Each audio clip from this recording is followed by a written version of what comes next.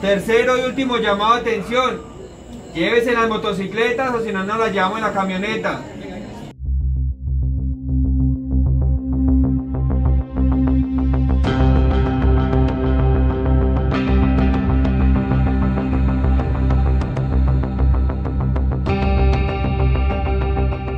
Ciudadanos han denunciado los constantes ruidos y aglomeraciones en discotecas, eventos o incluso en viviendas después de las 10 de la noche en Barranca Bermeja.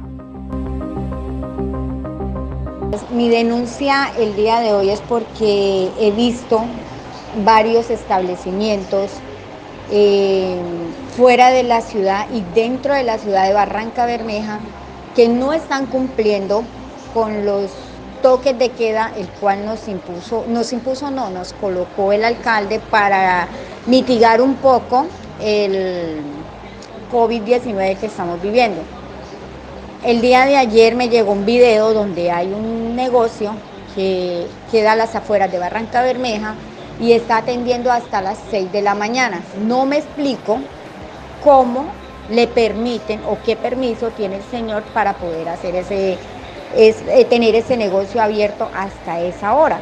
Estas fiestas clandestinas o privadas son vistas sin ningún tipo de bioseguridad en el recinto, como lo muestra en este video, donde se evidencia un gentío de hombres y mujeres sin tapabocas en una pista de baile de un establecimiento nocturnos a las afueras de la ciudad.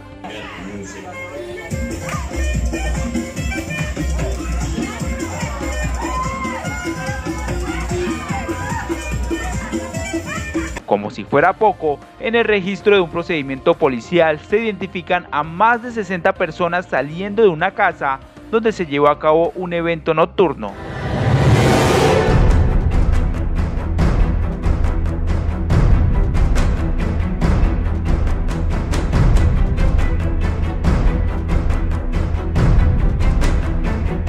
Ante esto, el subsecretario de Seguridad Ciudadano, Jimmy Picón, aseguró que algunos establecimientos no entran en razón frente al cuidado y la situación actual por el COVID-19 en la que afronta el distrito.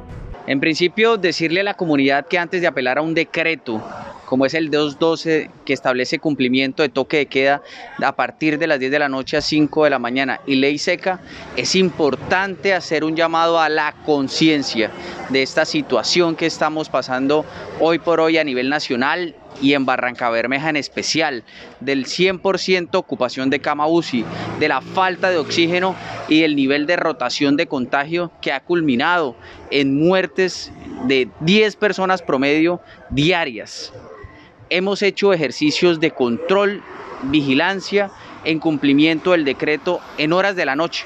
Hemos estado en la comuna 1, hemos estado en la comuna 5, hemos estado en la comuna 3, donde hay establecimientos comerciales. Por supuesto, hemos establecido la medida a través de comparendo, cerca de 30 comparendos en lo que va del fin de semana.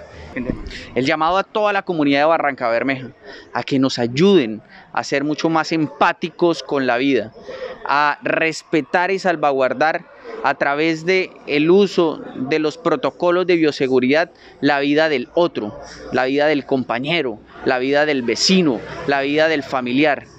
Esos próximos muertos no debamos ser ni nosotros ni nuestros seres queridos. Con referencia a estas evidencias, la Policía Nacional se ha pronunciado frente a estos eventos clandestinos en Barranca Bermeja.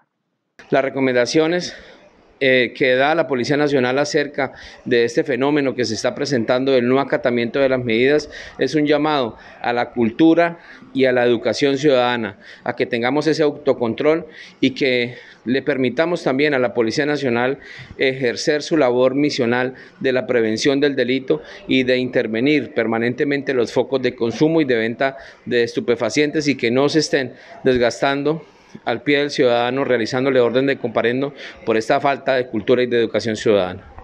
Estas reuniones o espectáculos se evidenciaron el fin de semana por vecinos y algunas personas que denunciaron al mal comportamiento de los ciudadanos en las calles. Las autoridades han anunciado en lo que va recorrido del año más de 500 órdenes de comparendo en la ciudad. Asimismo, reiteran el llamado al autocuidado y protección de cada uno por el alto índice de contagios y la poca capacidad de las camas UCI en el distrito de Barranca Bermeja.